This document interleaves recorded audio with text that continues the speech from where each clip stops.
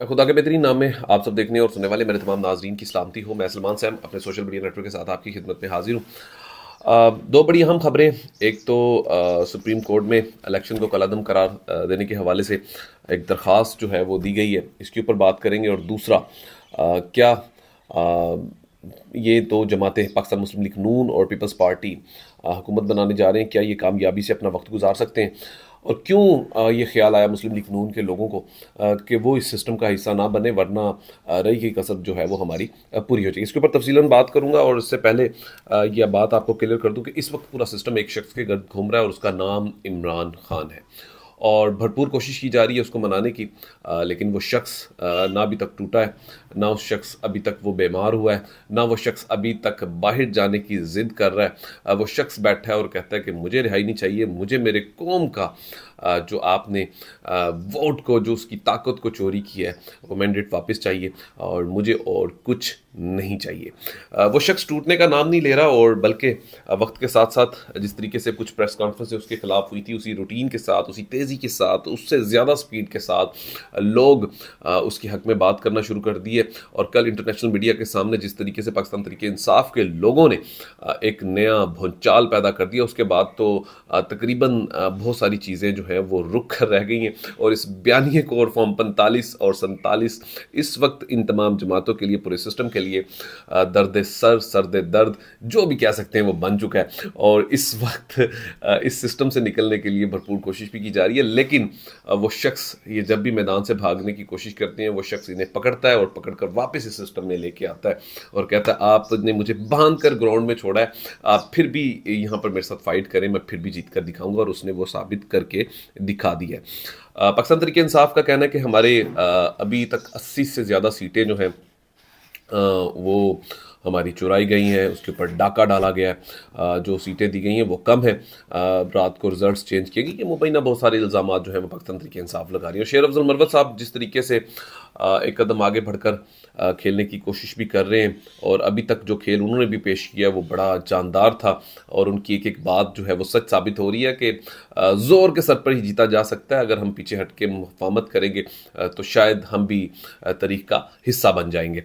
तो ये तमाम चीज़ें अभी बात करते हैं सुप्रीम कोर्ट ऑफ़ पाकिस्तान में जो दरख्वास्त दी गई है उस उसके ऊपर बात करते हैं। देखें सुप्रीम कोर्ट ऑफ़ पाकिस्तान में ये दरख्वास्त ज़रूर दी गई है आ, लेकिन इलेक्शन दोबारा करवाना भी इनके लिए मुसीबत बन जाएगा और कोई भी इस सिस्टम से बाहर नहीं निकलना चाहता।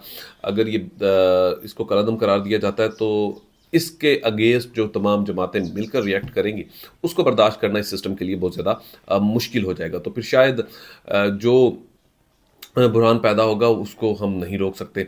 आ, क्योंकि अभी तो चले थर्टी परसेंट जमातें राज़ी हैं लेकिन जो बड़ी मार्जिन से जीत आ, हारी हुई जमातें जिनका एक आवाम ने जिन्हें मैनिडेट दिया था और जिन्हें अवाम ने एक ताकत दी थी आ, वो तमाम जमातें जो हैं वो इस वक्त अपोजिशन करने के लिए भी तैयार हैं। उसमें पाकिस्तान तरीके इंसाफ है उसमें जी डी ए है और बहुत सारी जमातें मौलाना फजलरहमान साहब जिस तरीके से पाकिस्तान तरीके इंसाफ के साथ जुड़कर एक नुक्ते के ऊपर सिर्फ़ रजामंदी हुई है और वो ये है कि इस इलेक्शन में हमारे जिस तरीके से रिजल्ट्स को चोरी किया गया, हम इसको वापस लेकर आएँगे और हम अपना हक लेकर रहेंगे। तो इस चीज़ को देखते हुए, मद्देनज़र रखते हुए मुझे नहीं लगता कि इस इलेक्शन को कलदम करार दिया जाएगा। और अगर कलदम करार दिया भी जाएगा तो फिर निगरान सेटअप ज़्यादा देर कैसे चलेगा? ये भी एक बहुत बड़ा सवाल है। मतलब दानश्वर यही कहते हैं कि हमें नहीं लगता कि इस इलेक्शन को कलदम करार दिया जाए और ना हो सकता है। लेकिन जो रिज़ल्ट थे हाँ वो ज़रूर देने चाहिए और जिसका हक था, जिसको आवाम ने पावर दी है। उसको पावर में ज़रूर आना चाहिए। देखिए, जिस वक्त चारों सूबों के जो हालात पैदा हो चुके हैं, इसको मद्देनज़र रखते हुए इसको मज़ीद आग इस आग को बढ़ाना, इसके ऊपर तेल छिड़कना इस सिस्टम के लिए जो है वो बहुत ज़्यादा मुश्किल होगा। तो इस सिस्टम में रहते हुए इस सिस्टम के साथ काम करना पड़ेगा और ये जो तरतीब चल रही है, इसको ठीक करना होगा। इस वक्त पाकिस्तान मुस्लिम लीग नून और पीपल्स पार्टी हुकूमत बनाने की पोजीशन में भी है, लेकिन पाकिस्तान मुस्लिम लीग नून जो है वो अब इस हुकूमत में नहीं आने चाहती, इसके कुछ लोग इसके ऊपर बात भी कर रहे हैं कि हम इस सिस्टम का हिस्सा ना बने तो ज़्यादा बेहतर हम बल्कि स्ट्रॉन्ग अपोजिशन करें। तो शायद अगली बार हमारे लिए रास्ते जो हैं वो खुल सकते हैं। और पाकिस्तान पीपल्स पार्टी जो है वो दिली तौर पर मुस्लिम लीग नून के साथ काम नहीं करना चाहती। उन्हें भी पता कि ये तो जलील हो रहे हैं, ये हमें भी बहुत ज़्यादा जलील करवाएँगे। तो ये दोनों जमातें भी एक दूसरे के साथ कहीं ना कहीं मुनाफ्त भी कर रही हैं।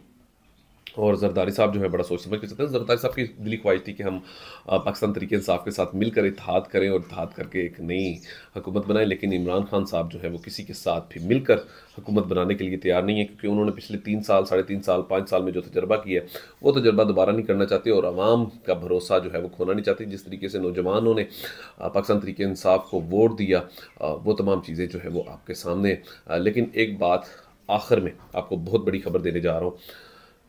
ये पूरा सिस्टम अनकरीब उसके आगे झुकने जा रहा है। अपना ख्याल रखिएगा। अपने इस चैनल का भी खुदा हाफिज़।